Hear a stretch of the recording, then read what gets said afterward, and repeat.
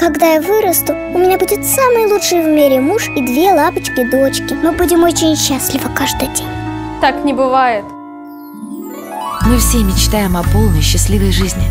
Но что помогает осуществить мечту?